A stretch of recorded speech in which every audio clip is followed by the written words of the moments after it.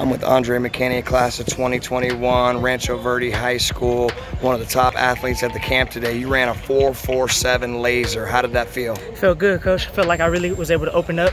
Feel like I, I can run a little faster if I tried. Um, just trying to go out here and do my best every time. Talk a little bit about your day at the Best Coast Showcase today. How'd you do in the receiving drills? Uh, in the receiving drills, I did good. Um, felt like I got really good in and out of transitions on the star drill. Made some pretty good catches today and uh, routes on there, and then finished up winning the fastest man. You you recently picked up a couple offers. Who offered you? I have a off, uh, division offer from Davidson University and another one from uh, University of San Diego.